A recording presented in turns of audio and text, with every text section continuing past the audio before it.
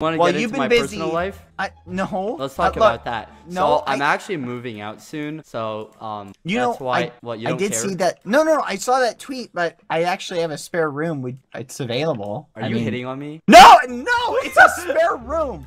I'm just saying we could be roommates. Yeah, you're definitely hitting on me. It's not. No, no, stop. You're not gonna turn this into a me hitting on you type thing. This is. I am offering. You're moving out. I happen to have a spare room. If you're interested, I'm just like like a spare room. Okay, I have other roommates. Okay, so it's not like it's just we happen to have a spare room. All right. Okay. That's it. There's literally nothing being insinuated.